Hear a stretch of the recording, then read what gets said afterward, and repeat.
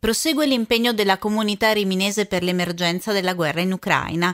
C'è chi, come una famiglia di Spadarolo, decide di accogliere attraverso la Caritas una madre e i suoi quattro figli in fuga dal conflitto.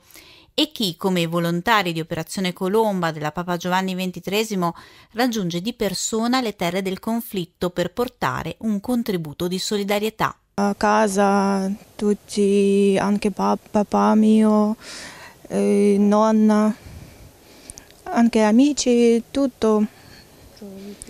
E mio marito è andato di guerra, figli, è andato a scuola, hanno paura perché è sempre serena. Bambini piangi perché ha paura, è andato di sotto, è buio.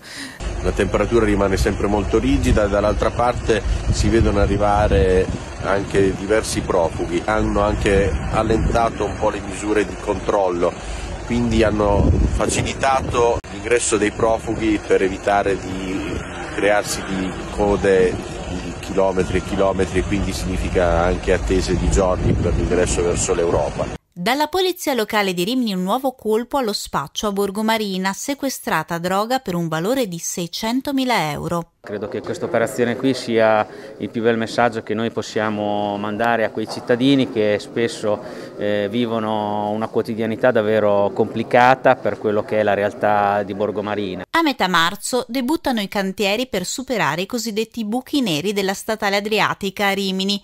Pur con qualche disagio il piano del traffico regge fa invece discutere il progetto della variante dell'Adriatica tra Gia Marina e Santa Giustina, la prospettiva dell'apertura dei cantieri provoca le reazioni di ambientalisti e coltivatori. Tutti ad oggi eh, diamo un valore al prodotto italiano quando vengono distrutti centinaia di ettari di terra dove noi produciamo a norma di legge e mh, mm, con tutte le, le varie qualifiche per produrre per il consumatore dare un prodotto sano e qui tutto viene distrutto. Non ci siamo proprio, possono slargare la tolemaide e invece portano via il mangiare alla povera gente. Dopo due anni di stop per la pandemia, Rimini rivive finalmente la tradizione di inizio primavera e si riaccendono di nuovo le focheracce.